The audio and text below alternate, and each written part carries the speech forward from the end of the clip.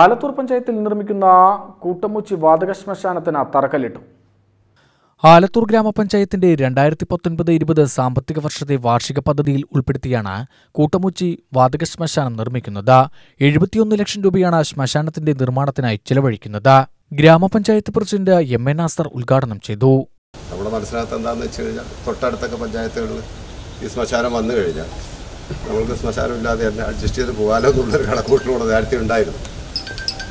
പക്ഷേ ഒരു ഗ്രാമപഞ്ചായത്തിന്റെ ഉത്തരവാദിത്തം എന്ന് പറയുന്നത് മരിച്ചു കഴിഞ്ഞാൽ ബോഡി സംസ്കരിക്കാൻ ആവശ്യമായിട്ടുള്ള സംവിധാനം ഒരുക്കേണ്ടതും പഞ്ചായത്തിന്റെ ഉത്തര ഉത്തരവാദിത്തമാണ് മാലിന്യ സംസ്കരണം. മറ്റുള്ള എല്ലാ ഉത്തരവാദിത്തം പോലെ തന്നെ ഏറ്റവും പ്രധാനപ്പെട്ടുള്ള ഒരു ഉത്തരവാദിത്തമാണ് ശ്മശാനം ഉണ്ടാക്കുക എന്നുള്ളത്.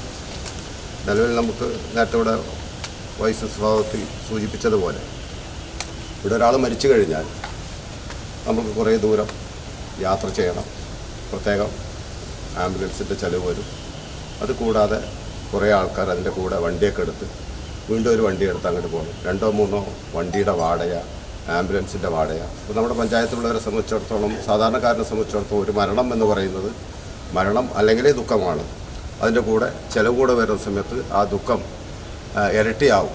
അതുകൊണ്ട് ശ്മശാനം നമുക്ക് എന്തായാലും അത്യാവശ്യമാണ്.